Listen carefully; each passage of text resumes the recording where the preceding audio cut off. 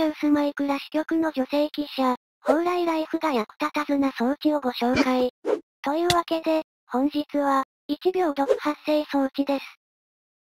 さて、この装置の作り方は極めて簡単。まずは地面にレール4個をこのように設置してから、その真上に広さ6メートル四方、高さ4メートルの天井を設けて、その中央に植え付きトラップドアを4枚設置します。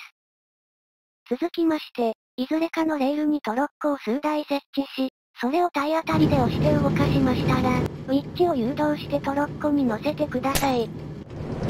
あとは自分もトロッコに乗り込むだけ。たったこれだけで1秒間しか継続しない毒を、低確率で浴びることができるのです。トライフニューストピックスでした。